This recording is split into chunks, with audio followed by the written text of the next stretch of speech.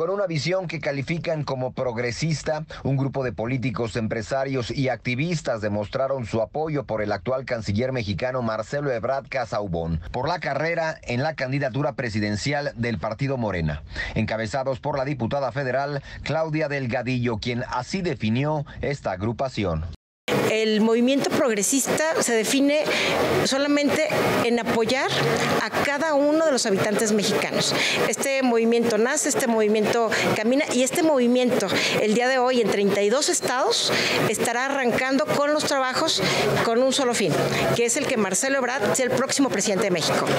Con 10 postulados, este movimiento arranca actividades en Guadalajara con el objetivo de promover la visión del actual secretario de Relaciones Exteriores, quien fuera jefe de gobierno de la Ciudad de México del 2006 al 2012. El plus de Marcelo Ebrard, aparte, bueno, ahorita está en Cancillería y su trabajo en Cancillería, todos los mexicanos lo vemos y sabemos que está bien evaluado. Pero tenemos que recordar algo eh, cuando él fue jefe de gobierno. Él profesionalizó la policía como no lo ha hecho ningún otro jefe de gobierno.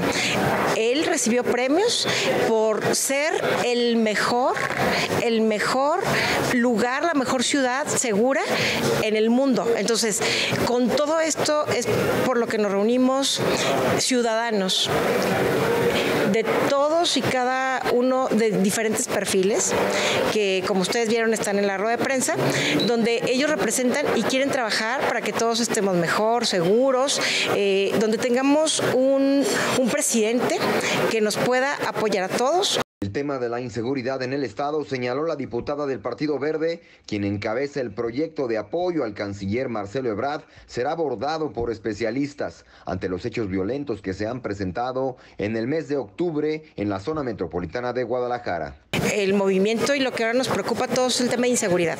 Y en eso vamos a estar trabajando de manera constante. Es un problema que está terrible en nuestro estado. Entonces con este movimiento queremos sumar todas las voluntades para poder avanzar y que cuando Marcelo llegue a la culminación de estos trabajos sea él quien dirija eh, lo que va a pasar en nuestro país.